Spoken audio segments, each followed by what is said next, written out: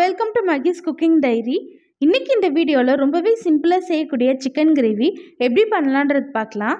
அதுக்கு ஃபஸ்ட்டு நான் அரை கிலோ சிக்கனை கழுவி க்ளீன் பண்ணி வச்சுருக்கேன். இது கூட கால் டீஸ்பூன் மஞ்சள் தூள் ஒரு டீஸ்பூன் தனி மிளகாத்தூள் ஒரு டீஸ்பூன் மல்லித்தூள் லாஸ்ட்டாக அரை டீஸ்பூன் மிளகுத்தூள் சேர்த்துட்டு எல்லாத்தையும் நல்லா மிக்ஸ் பண்ணி விட்டுக்கோங்க. இப்போ மசாலா கூட சிக்கன் நல்லா மிக்ஸ் பண்ணியாச்சு. இப்போ நம்ம குழம்பு தாளிச்சிடலாம். அதுக்கு ஒரு பேனில் மூணுலேருந்து நாலு டேபிள் ஸ்பூன் எண்ணெய் சேர்த்துட்டு ஒரு துண்டு பட்டை ரெண்டுலேருந்து மூணு கிராம்பு ஒரு அன்னாச்சி பூ அரை டீஸ்பூன் சோம்பு ஒரு பிரிஞ்சி இலை சேர்த்துட்டு இது எல்லாம் நல்லா பொரிஞ்சதுக்கப்புறமா பொடியை கட் பண்ண ரெண்டு பெரிய வெங்காயம் சேர்த்துட்டு எல்லாத்தையும் நல்லா வதக்கி விட்டுக்கோங்க. வெங்காயம் நல்லா வதங்கி வரும்போதே இது கூட கொஞ்சமாக கருவேப்பிலை ரெண்டு டீஸ்பூன் இஞ்சி பூண்டு விழுது சேர்த்துட்டு இஞ்சி பூண்டோட பச்சை வாசனை போகிற வரைக்கும் நல்லா வதக்கி விட்டுக்கோங்க. இப்போ ஒரு நிமிஷம் நல்லா வதங்கியாச்சு.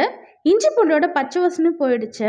இந்த ஸ்டேஜில் பொடியை கட் பண்ண ஒரு பெரிய தக்காளி தேவையான அளவுக்கு உப்பு சேர்த்துட்டு தக்காளி நல்லா மசிகிற அளவுக்கு நல்லா வதக்கி விட்டுக்கோங்க.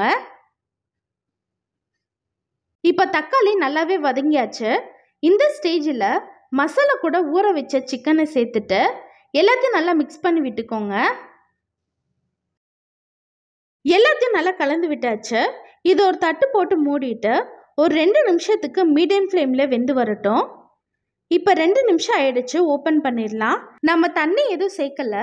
சிக்கனில் இருக்க தண்ணியிலே இது ஓரளவுக்கு வெந்துருச்சு. இது ஒரு டைம் நல்லா கலந்து விட்டுட்டு இதுக்கு தேவையான மசாலா ஆட் பண்ணிக்கலாம்.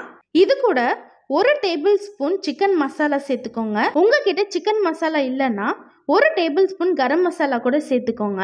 சேர்த்துட்டு இது எல்லாத்தையும் நல்லா மிக்ஸ் பண்ணி விட்டுக்கோங்க. எல்லாத்தையும் நல்லா கலந்து விட்டாச்சு. இந்த ஸ்டேஜில் கிரேவிக்கு தேவையான தண்ணி ஊற்றிடுங்க ரெண்டுலேருந்து மூணு கப் அளவு தண்ணி சேர்த்துட்டு எல்லாத்தையும் நல்லா கலந்து விட்டுக்கோங்க.